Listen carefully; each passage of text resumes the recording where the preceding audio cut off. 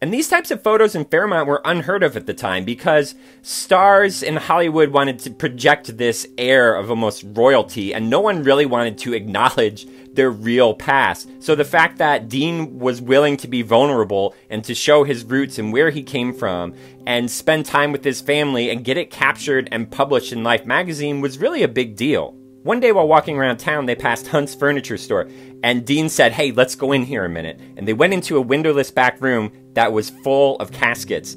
And Stock did not like this. He didn't get a good vibe, he didn't want to do it, but Dean talked him into it, and he did all these silly poses. And Stock recalled once he had kind of worn himself out with all these ridiculous actions, he let his guard down and he got this really poignant portrait. After this story ran, East of Eden came out. Everybody wanted a piece of James Dean. Everybody loved the photos that Stock took.